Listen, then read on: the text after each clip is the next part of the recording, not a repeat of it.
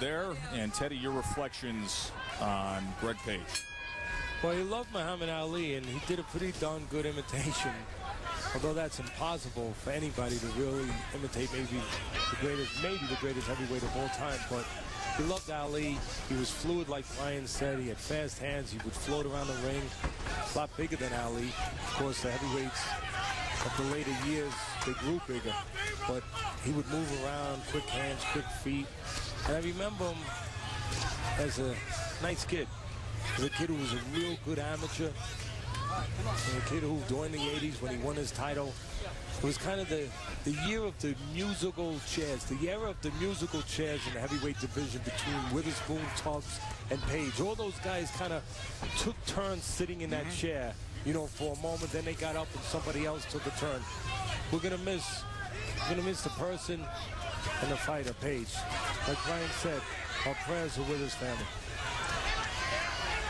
Short left hand moments ago from McEwan. He's in the blue trunks, 14 and 0, unbeaten but untested up until this point. And Vera has proven that he can be a challenge to many like this. A rugged Texan veteran guy, 16 and 2. Of course, Craig McEwan he is co-managed and trained, is the Scottish fighter, by Freddie Roach. And there is Freddie Roach just six days removed from the pinnacle signature moment of his career, leading Manny Pacquiao to that sensational knockout of Ricky Hatton. I think people, you know, lose perspective on Freddie Roach, Teddy, and, and the story of his career. I mean, he was a broke and broken fighter at the end of his career. Now he's on top of the world, the top trainer, active trainer in the world. I mean, he's to the point he's got endorsements. You, you see him on the reality show. He's even pitching his own Fighting Fit vitamins online. You got the heavy bag. Freddie's got the vitamins, the Fighting Fit vitamins. I mean, you know, but it's it's this fairy tale ride for Freddie Roach that, you know, he told us yesterday he never saw coming. But he's happy to be in the position he is.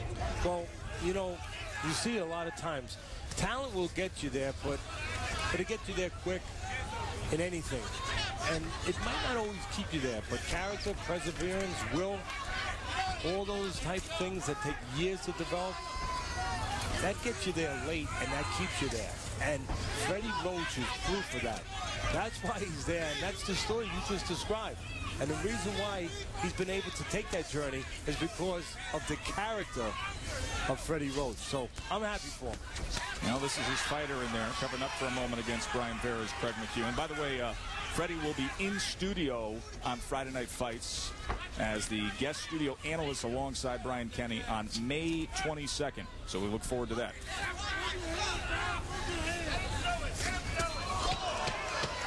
Coming to the end of round four. Main event scheduled for 10.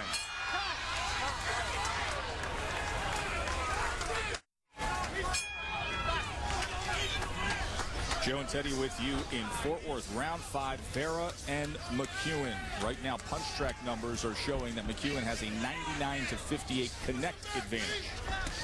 You know, both losses by Vera have come by the knockout route, but always against physical, strong guys. And that's one thing he doesn't have here in McEwan. He has a guy that presents another problem to him, a guy who's a little bit smart and mobile. And those guys give him trouble too because they keep more pounds and they don't let him get set for what he's good at, which is winging those looping shots. He needs you in front of him to be able to do that. And so far, for the most part, McEwan hasn't given him that.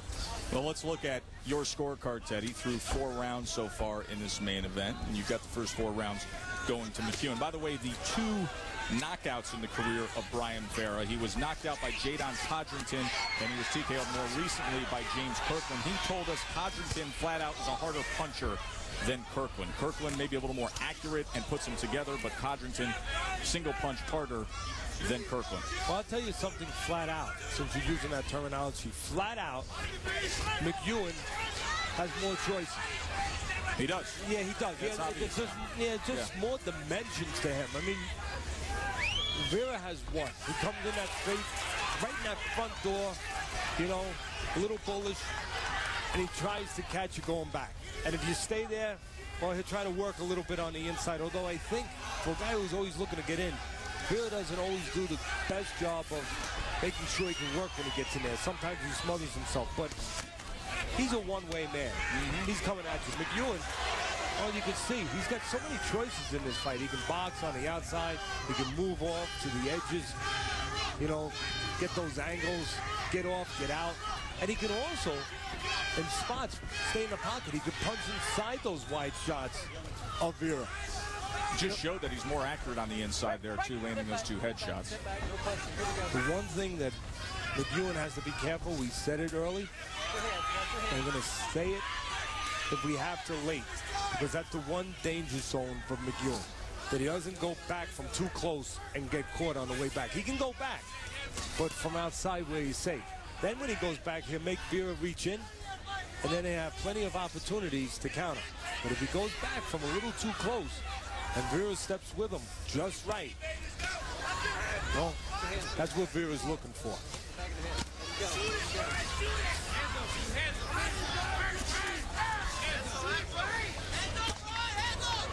Body shot underneath, and Vera went up top.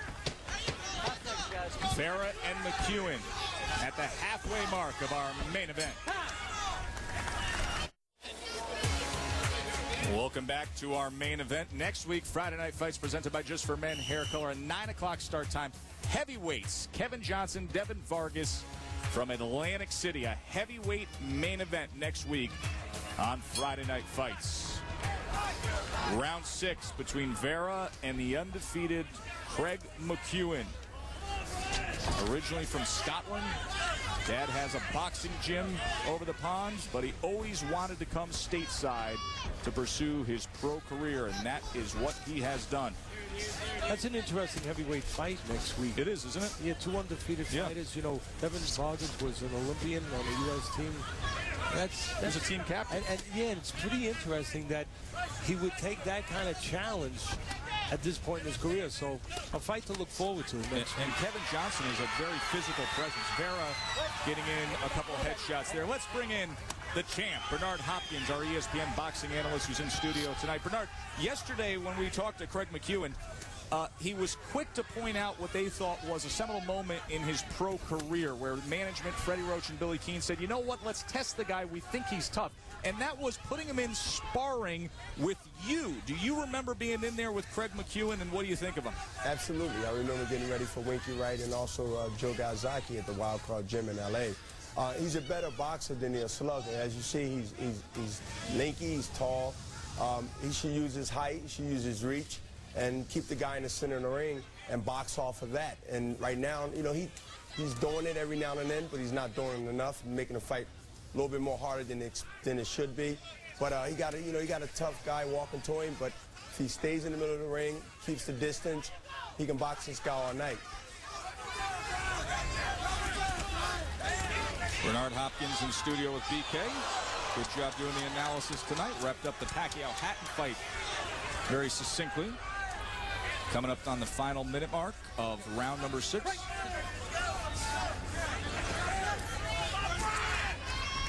Right now, making no excuses for Vera and taking nothing away from the effort and the good fight plan of McEwan.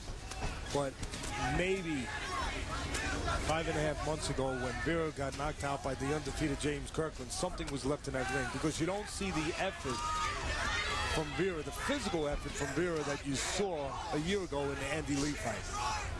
There are the headshot numbers and 100. Century mark landed now by Craig McEwan. See what you just saw there? That's the key. Forget about the punch numbers. What you just saw up there, right, right there, on the inside where Vera, the guy who's not as mobile, not as fast, not as good on the outside, he gets inside and he allows himself to be tied up. He puts his hands behind McEwan. He can't win the fight if that's his attitude. My question would be, why is that his attitude? Now he comes charging in here at the end of round six. Four to go from Fort Worth.